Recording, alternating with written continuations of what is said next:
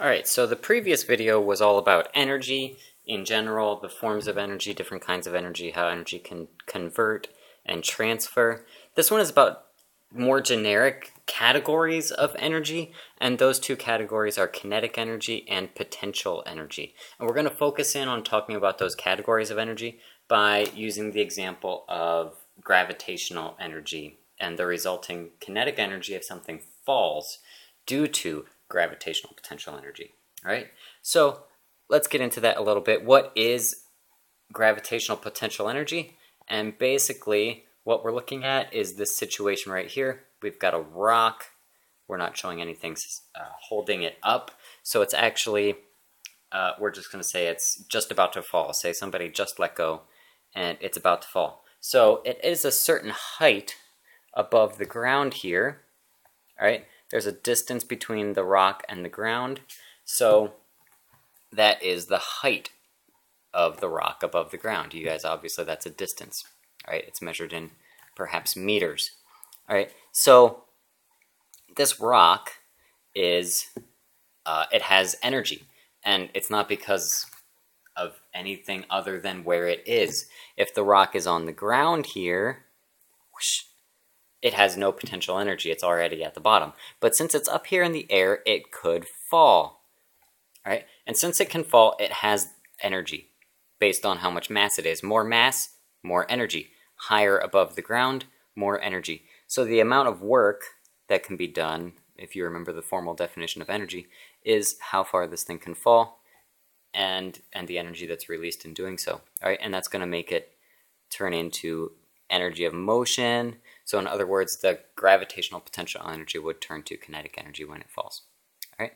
So uh, here's the formal definition of gravitational potential energy. It's the energy of an object due to its height, the object's height above a surface. All right? So there you go for the first one. Cool. All right, so when gravitational potential energy is uh, released or converted, basically by dropping something, then that energy turns into kinetic energy. And kinetic energy, in terms of falling, would be the energy due to the object's motion or its falling, right? So the Earth pulls everything down with the force of gravity, everything is pulled down all the time. Even if you're on the ground, you're still being pulled down, and you know that because you don't randomly go flying off places, right? So gravity is always pulling, always pulling, and when something is no longer supported by the ground or a chair or a table or a stool or your bed, for example, say you fall out of bed, well, the bed is no longer supporting you once you roll off the side, and you're going to start to fall, and then you will hit the ground, you'll feel the force of that impact, and so on. Now, if you fall far enough, you're going to accelerate.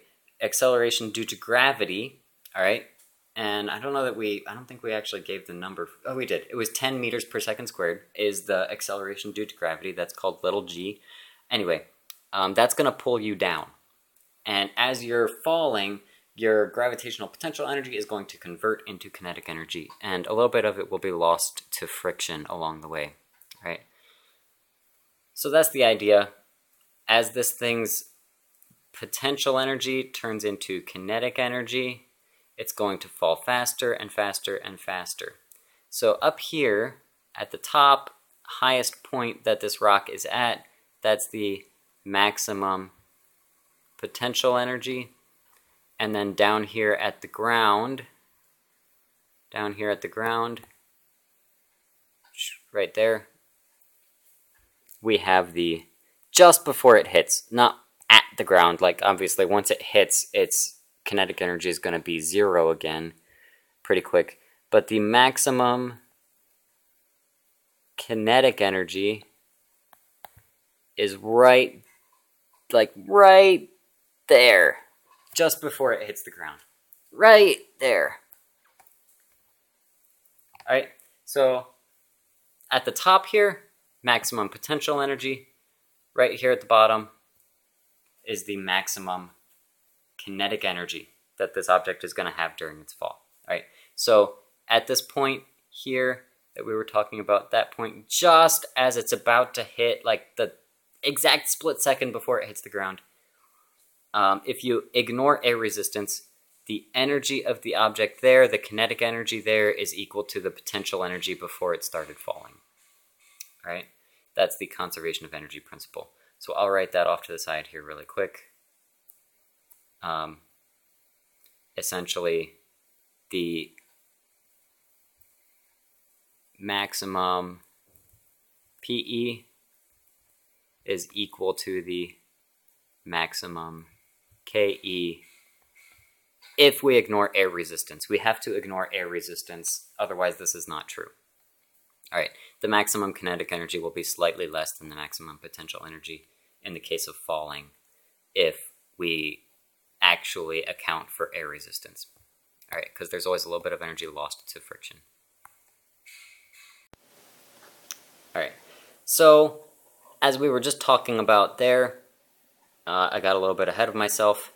Um, when you drop things or launch things, energy is converted between gravitational potential energy and kinetic energy. So if you drop something, the potential energy turns into kinetic energy. If you launch something into the air, then the kinetic energy, the energy of motion of that object, gets converted into potential energy. So you're going to gain some potential energy. If you launch that thing up into the air, then depending on what the initial velocity is, so this thing's going to go up, right? It's going to launch up. Depending on what that initial velocity is, you're going to reach a certain height above the ground, and you can actually calculate that um, using some neat little a neat little formula as long as you know the mass of the thing that you're launching. So that's pretty cool. If you know how fast it is when it launches and you know how much mass it has, you can actually find how high it'll go. Um, again, though, you have to ignore air resistance. So you'll be off a little bit because there's always air resistance. All right. Even if we ignore it, it's still there. The only time we can actually do a problem without air resistance is when we sort of do it in a make-believe physics way instead of actually in the real world. But sometimes you get objects that are very aerodynamic and have very little air resistance, so you can mostly ignore it. Anyway, so energy converts between these two. So when you drop, potential energy turns into kinetic energy, energy of motion, and then when you launch something, the kinetic energy turns into potential energy as the object rises into the air. Interesting thing about launching, say you throw a basketball straight up in the air, eventually it gets to its highest point, and then it's going to fall back down, right? So there you have both launching and falling. The energy starts with your muscles, and you throw it up into the air, and then um, after a little while, reaches its maximum point.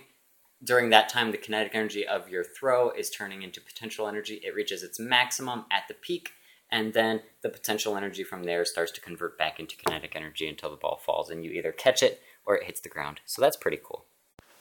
Now here are your equations. We love equations. Here they are. Um, kinetic energy formula and the potential energy formula. So these are what you would use for solving um, any kind of problems you might have with, with uh, involving these two things, especially throwing an object in the air or dropping one. All right, so let's just take a really quick uh, imaginary scenario here. I didn't put this in, but all right. So kinetic energy is one half mass times velocity squared. See, m is mass, v is velocity. All right. Um, g is acceleration due to gravity. H is height above the ground. I did actually put those all in there. That's nice.